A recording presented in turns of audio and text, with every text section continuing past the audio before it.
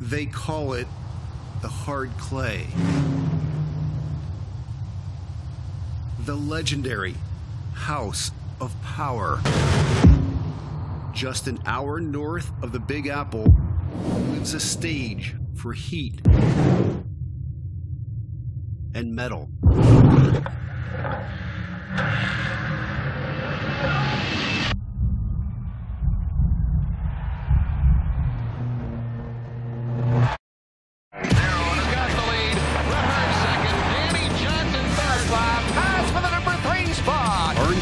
Fair Speedway's 100 year reign has given rise to champions. The racing, it was the best. Brett Hearn wins the Conquest 97. He was very intense. Every Saturday night, they're summoned to test their wits You got to keep on thinking, build something different. and guts. Danny wants to pass you. You, you kind of know it, don't you? You know, you get on the track and your helmet on, your friendship kind of goes out the window. You could be instantly taken out of it. Madhouse down. So they made a huge mistake and it cost us the race. Decades of rivalry. It was unbelievable to watch. Jerry was a little bit rough. You didn't give him an inch. Buzzie was real calm, librarian. That's what I called him, the librarian. Decades of tradition. We were rock stars, man. Wherever we went, There was a lot of fans. That's the insanity that that place was. It was some crazy times.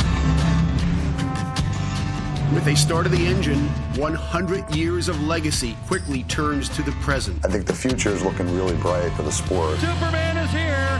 Matt Sheppard. Stewart Friesen, he's a whole nother world. He's an animal. This is Dirt Modified. This is Orange County. This is 100 years.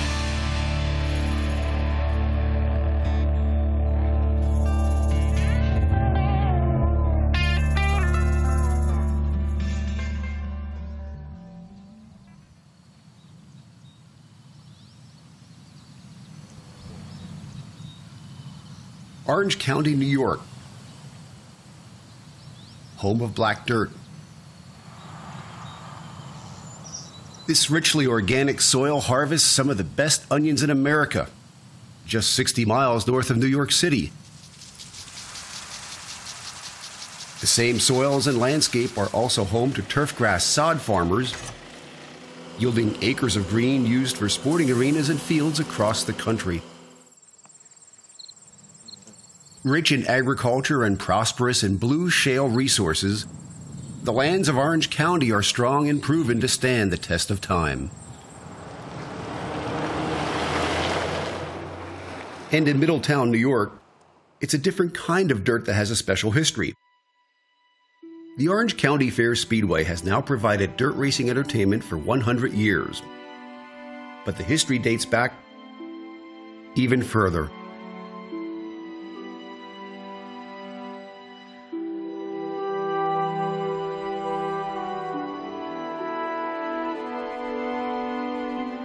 Built in 1857 and originally called the Ogden Track, Middletown was home to a half mile horse racing venue that drew crowds from throughout the tri state area.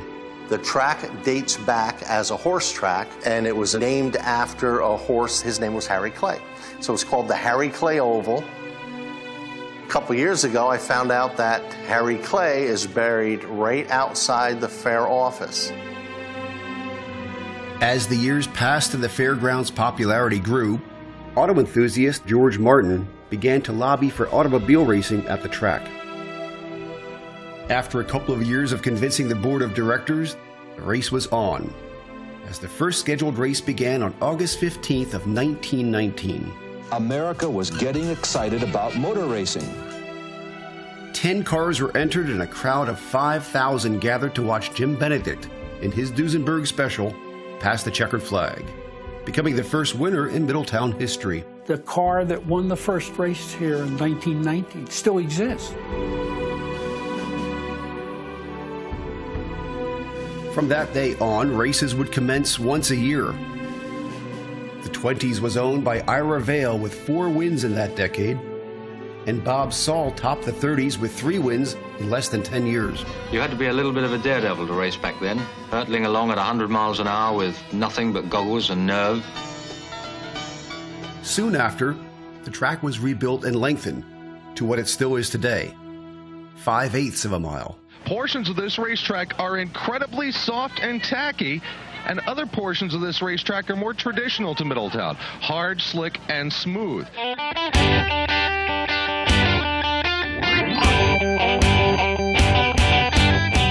In 1924, a man by the name of Joe Coates brought in clay from Finnan's Pond in the neighboring town of Goshen.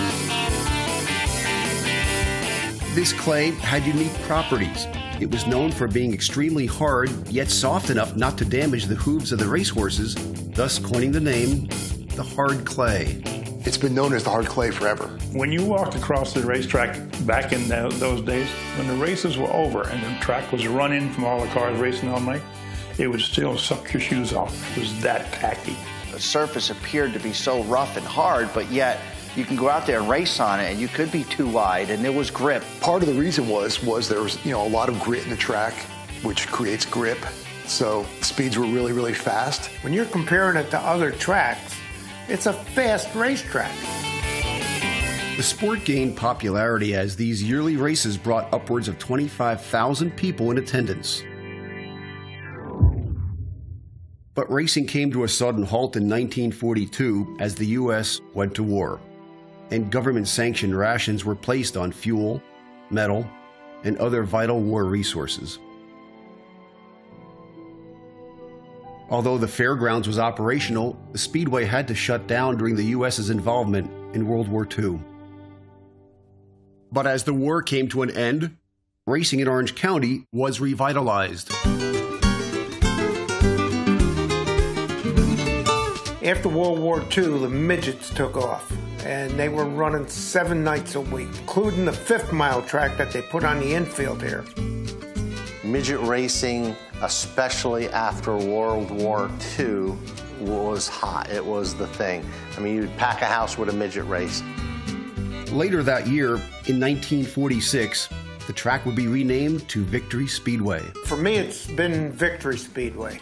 That's what it was back in the 50s. I have a ticket for Victory Speedway. That's what it used to be called. Um, I know we had a, a, football field in the middle of the track at one time, and obviously everybody knows, uh, you know, Victory Speedway, where we had the, the short track inside. As the popularity of racing continued to climb, in 1949 the stock car was born and the first feature race took place. Overnight, practically, somebody started racing stock cars, and midgets went from seven nights a week to once every two weeks if they were lucky. They just completely faded out. Stock cars took over. Stock cars, which were very similar to what was driving down a road, as opposed to the open wheel cars that have been running there for years and years. There wasn't so much distinction then between street cars and race cars. The difference was all in the men who drove them. Most of the parts came from junkyards. Of course, there was some speed equipment in motors and so on. The cars have usually been rescued from junkyards, but the motors are good and the excitement guaranteed. If you go to stock car races once or twice and you don't have a favorite, you're not really going to be into it that much. Once you latch on to the guy that you like his style or you like the color of his car or anything like that, once you latch on to somebody and you become a fan of somebody, it makes it much more interesting. I had asked this girl out to go to the movies, and she said no. And when I was walking away, she goes, wait a minute, wait a minute. How about if we take a rain check and we go to stock car races? So I said, where's the stock car races? She said, Middletown. Well, I've been going ever since. Traditions at the fairgrounds were being established,